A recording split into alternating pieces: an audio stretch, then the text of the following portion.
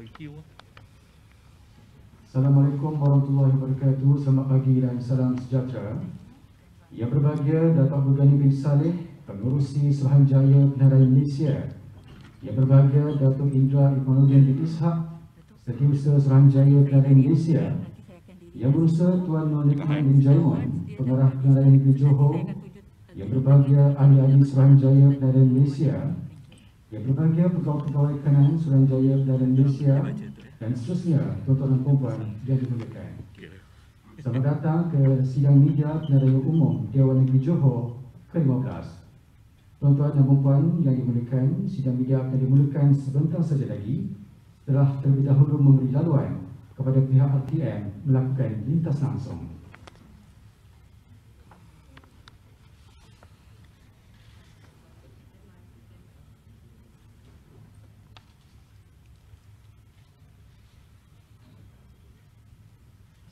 Fala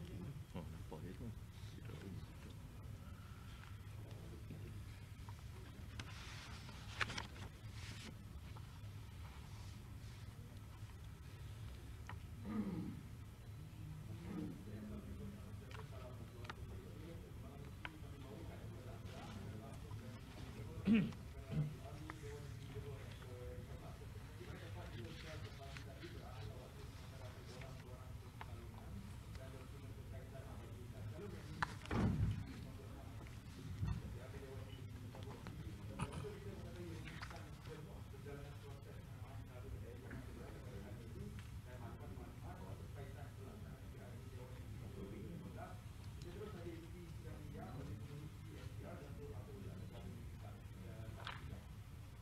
Hadirin sekalian, seterusnya dilakukan yang berbahagia Datuk Abdul bin Saleh, Pengurusi Suruhanjaya Penerangan Malaysia untuk memulakan sidang media.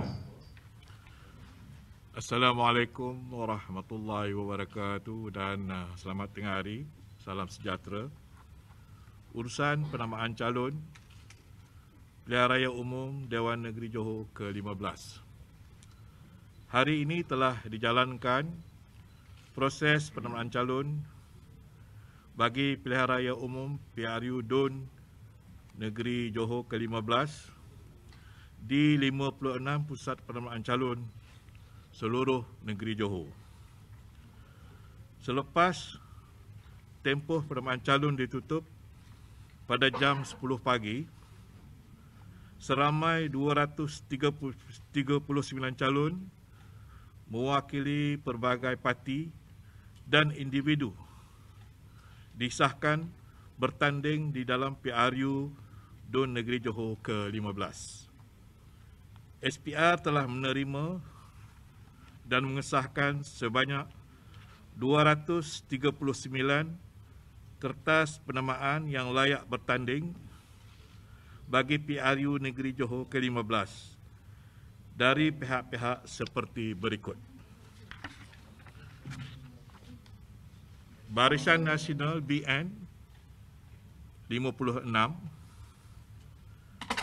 Perikatan Nasional PN 56 Pakatan Harapan PH 30 Parti Pejuang Tanah Air Pejuang 42 Parti Keadilan Rakyat PKR 20 Bebas 16 Ikatan Demokratik Malaysia Muda 7 Parti Warisan Sabah Warisan 6 Parti Bangsa Malaysia PBM 4 Parti Bumi Putra Perkasa Malaysia Putra 1 dan Parti Sosialis Malaysia PSM 1.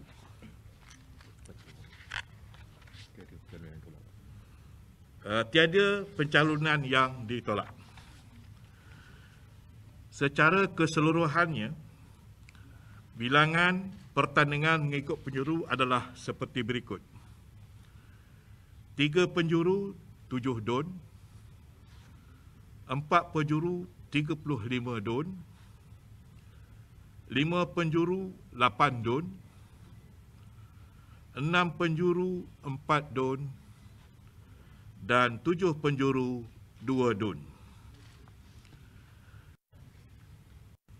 Bilangan calon yang bertanding mengikut jantina adalah seperti berikut. Lelaki 202 calon, wanita 37 calon. Umur calon tertua dan calon termuda yang bertanding adalah seperti berikut.